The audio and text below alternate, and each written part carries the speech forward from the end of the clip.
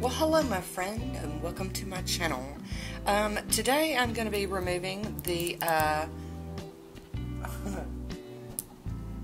peel off polishes. I had a mind blank. Sorry about that. but um, I just wanted to give y'all an update and show you this is my tipware. Pretty um, minimal, actually. And I did wear this uh, for a total of nine days. Could not stand to wear it anymore. I need some different nail art on my nail.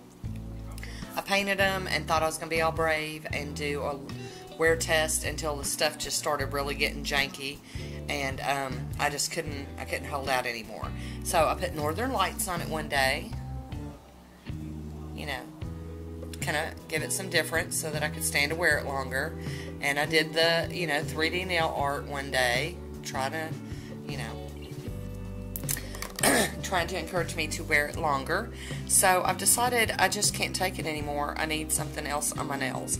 So this stuff is long lasting. It's really, really good. I mean, look at that. Just barely tip wear on them. And I work with my hands, so that's saying something. Took showers, washed some pots and pans. Now I don't wash dishes by hand.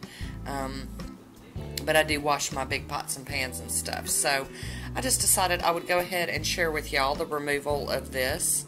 Uh, I have not oiled my hands. I have not soaked them in water or nothing. I have not done any of that. I just straight up just decided to. Look at that. Every bit of it. Every bit of that came up. So we're going to do another one. I like getting over as far to the edge as I can. Um, I don't want to have to go back and scrape little pieces. I think I might have to on this one though. It's not cooperating with me. Um, but these Bontime polishes just really, that's surprising. I, have uh, I've got nothing but good things to say about that. Now, I am being very careful because um, I don't want to pull up any of my nail with it. That one popped off just great, so there we go. I mean, wow.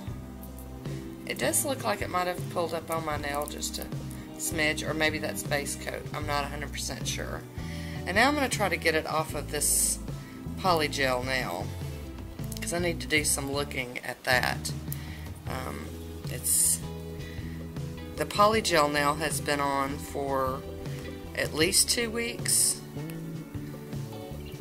Now, it does seem to be tougher to get off of there, but, you know,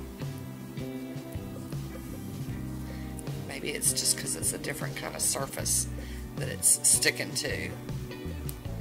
But I need to check out this polygel because I've, I've, I'm thinking I might need to redo it also while I'm playing nails today because um, it's grown out some and you can see there's a gap back here. This is as thick as the rest of the nail. So next time I'm going to try to thin that area down some. I've got a little bit of lifting going on over here and over here. So we're going to have to give that a, a looky-see. Yeah, this is a little tougher to get off this nail than on my natural nails.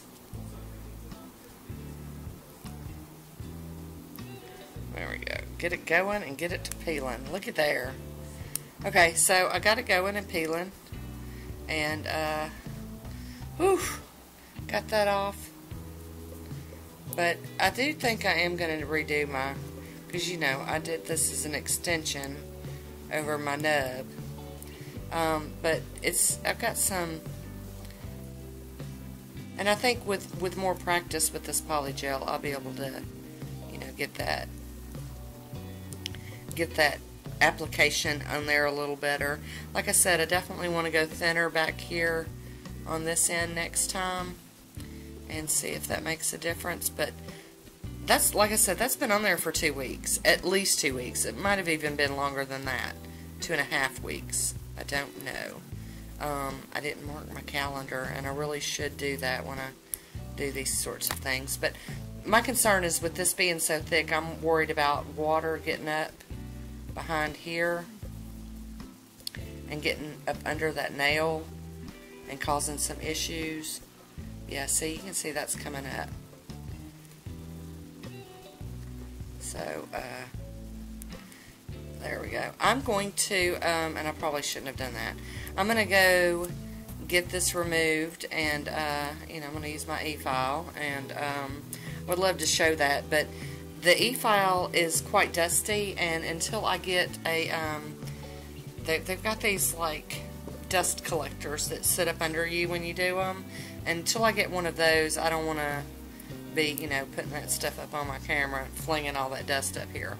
But I did want to give you an update on my polygel wear. Very, very pleased with that, by the way. Very happy with it. It's it's amazing how natural it feels.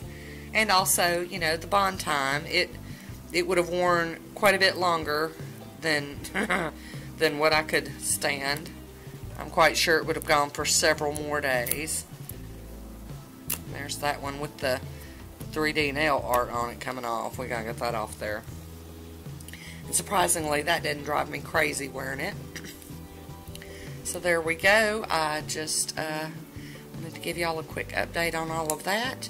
And I hope that you enjoyed this or got something out of it. And uh, I'm going to finish this up and record another manicure. And I want to thank you for watching. Until next time, be good to yourself. Uh, I'll talk to you soon. Bye.